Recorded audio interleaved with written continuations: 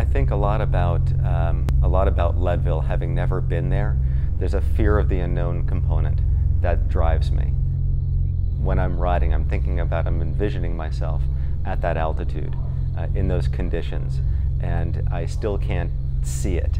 And so the fear of the unknown really, really keeps driving me on a regular basis.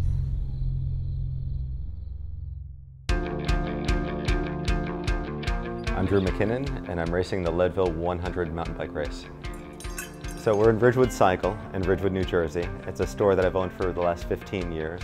It's been in my family for the last 50 years. That lever sounds great. Yeah. We carry everything from tricycles to the highest end triathlon bike. I feel lucky, I feel blessed every day that I'm able to work at something that I'm so passionate about.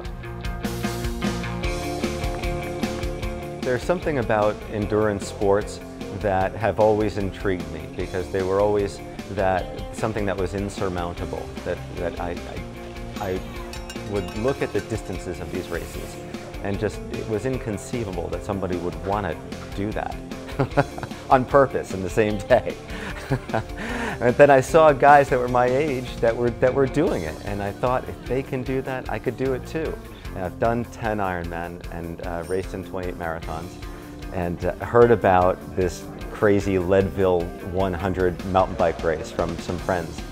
And uh, they all talked about it as being the holy grail of mountain bike races out in, out in Colorado.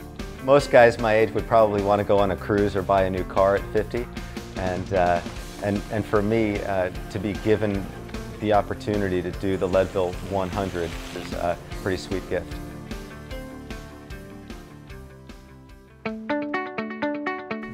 Training full-time with a family and a full-time retail business is extraordinarily challenging. But the training is really is my solace. It's it's my time. It's it's my time to control my diabetes. It's it's my best work gets done when I'm out training. I feel better after every workout that I've done. I've never regretted a workout. And with cycling, I've been able to further help manage my blood sugar levels and keep a better control on my diabetes. Being diabetic, I test my blood on a pretty regular basis.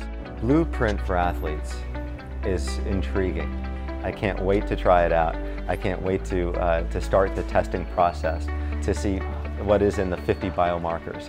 When we measure blood-based biomarkers, we're getting an idea of how the body is responding and adapting. So we can measure things like nutritional deficiencies, we can measure things like recovery, hydration status, and all of the markers that are included are intended for athletes to be able to take actions from the insights that they gain. And so this is going to help me to dial in training, to dial in my diet.